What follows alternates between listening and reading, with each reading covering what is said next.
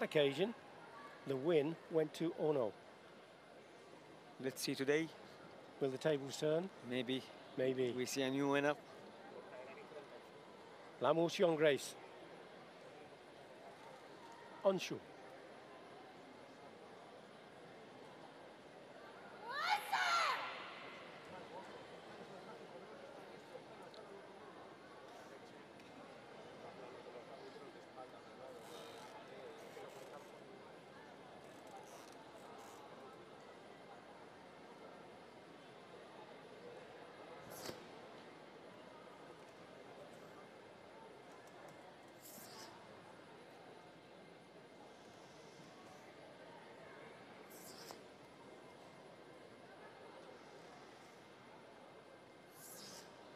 Talk us through the kata.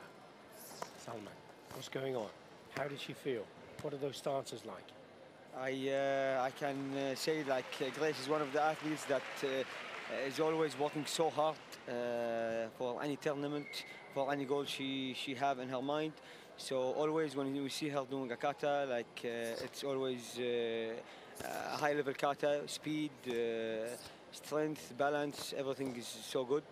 So as she's doing uh, Onshu now, it's uh, uh, not easy kata. The level of this kata is a high level. That's why she's doing it in the final. So so far, uh, it's great. What makes her choose this kata in this contest? Well, it depends on the maybe on the opponent. Some athletes, they uh, every different uh, every single athletes have their own strategy strategies some athletes uh, have one strategy and they don't change it. Uh, they always choose the the same katas in all the rounds and the middle bouts.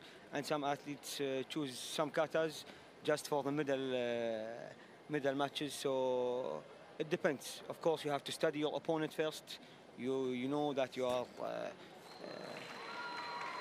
facing who in the final or in the bronze medal match, so all these things matter. It's a great deal to consider then, isn't there? Yeah.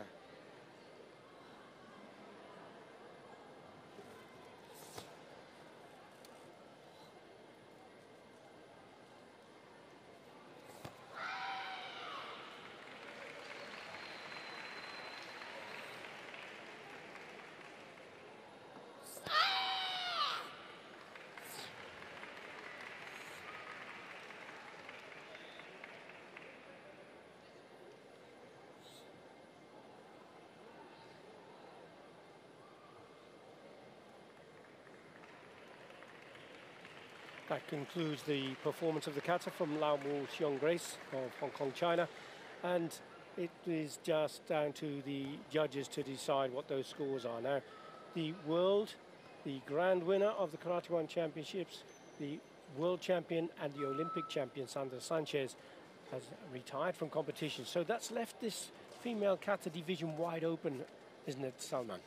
Uh, exactly, because uh, Sandra Sanchez was uh, something uh, I think uh, phenomenal. Like uh, no one else was like Sandra, Sanchez. A great athlete, a great spirit, always on the trainings. Like now, of course, the opportunity is is big for the other athletes to like who gonna lead the female kata uh, individual, and that's a good thing for the for the athletes. And could it be a good thing for Ono Hikaru because she's one of the front runners, certainly been challenging. She's a phenomenal individual, in a world silver medalist. She was a world silver medalist against Sandra Sanchez. And she will certainly be looking to continue with that winning streak.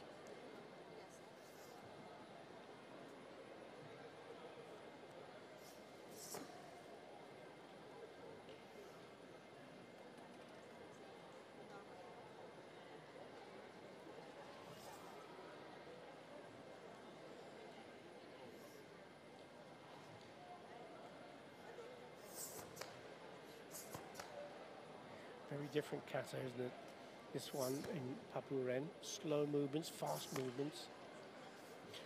Yeah, exactly. We can see uh, like even the rhythm of the kata of Papuren is uh, much different than the rhythm that uh, the other kata that uh, Grace Lau from Hong Kong did.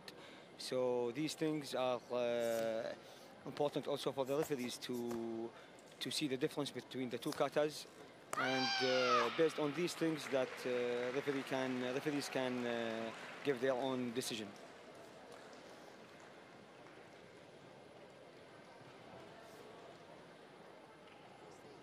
And what are the judges looking for in their um, assessment of the kata?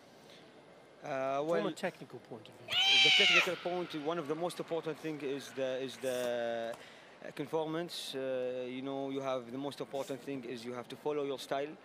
Uh, for example, if you are a Shotokan athlete, you have to do the kibadachi. As a kibadachi, you cannot open the legs and make it wide like a shikodachi.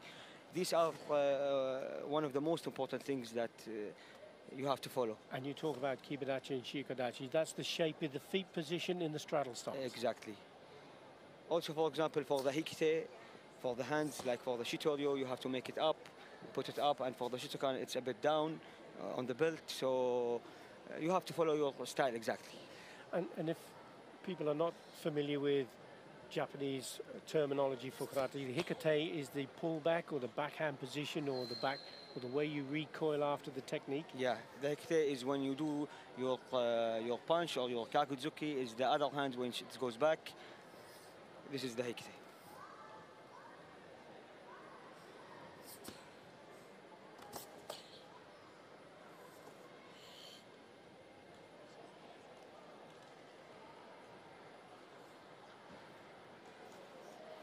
An important balance point.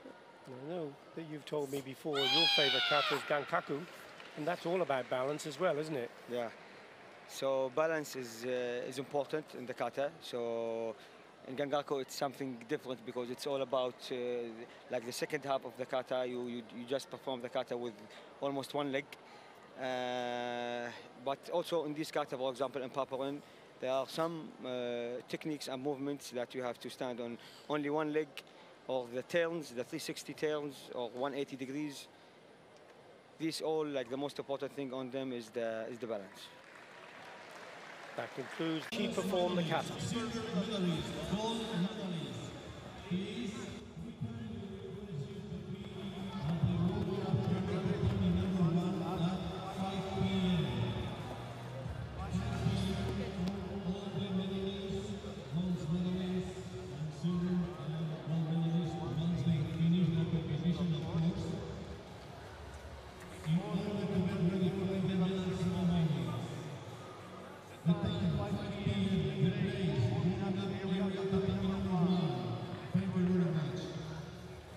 We're going to move away now from kata